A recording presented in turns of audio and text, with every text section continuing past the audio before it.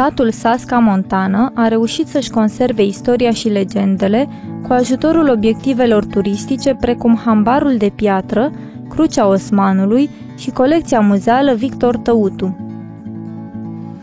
Aceasta din urmă s-a născut din pasiunea și nostalgia unui localnic pentru locurile natale și cuprinde, printre altele, piese de mobilier de la sfârșitul secolului al XIX-lea, fotografii, ceramică executată în sasca română, obiecte de feronerie, precum și roci și minereuri din minele astăzi închise.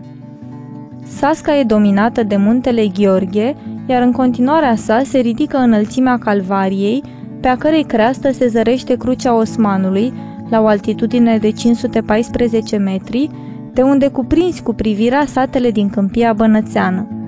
Crucea Osmanului datează încă de pe vremea austro-ungarilor, care obișnuiau să puncteze fiecare loc înalt cu câte o cruce.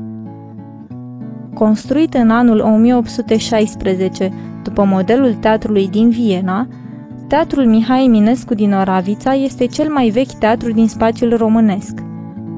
În 1868, Mihai Eminescu ajunge la Oravița în calitate de sufleur și secretar al trupei de teatru al lui Mihai Pascali.